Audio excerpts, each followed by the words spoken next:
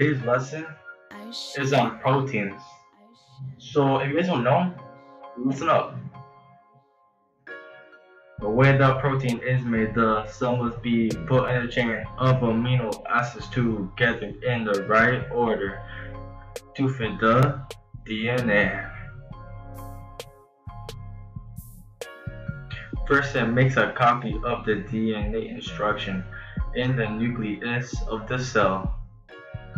Then it sends it to the cytoplasm, where it's sent to excel. Where it's sent to excel.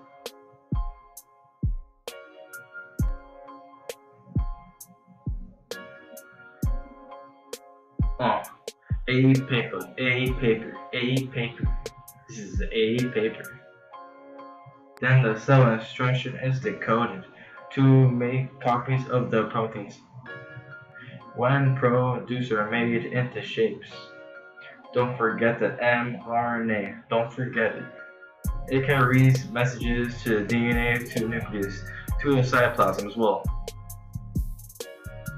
In the process, in the process, in the process, in the process of transcription and translation in the information from genes we got our proteins. This is how I get strong. This is how I get built. Proteins are what we get built on, yeah. IBB White.